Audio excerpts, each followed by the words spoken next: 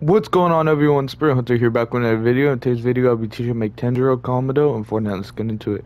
Once you head into the locker, the first thing you're going to want is these two pattern called Bionic Forge, followed by hairstyle A, eye mask off, and the belt on. Primary material you're going to want cloth in the color black. Secondary material you're going to want cloth in the color green.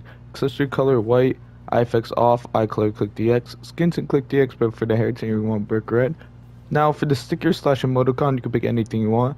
I recommend something with a sword because he is a demon slayer. And yeah, that's about it. Thank y'all for watching. Hope y'all enjoyed. Catch you in the next one.